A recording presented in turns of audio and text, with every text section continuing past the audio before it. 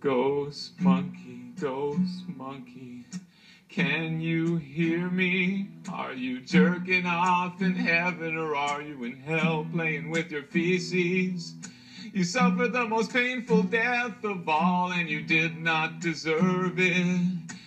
Death by Andre's shitty adult contemporary music. Forgive me with your little dead ghost monkey heart. Want your little ghost monkey arms to tear me apart. I didn't want it to end this way. I didn't want to discard you like a used condom on the side of the highway. I'm so sorry, ghost monkey.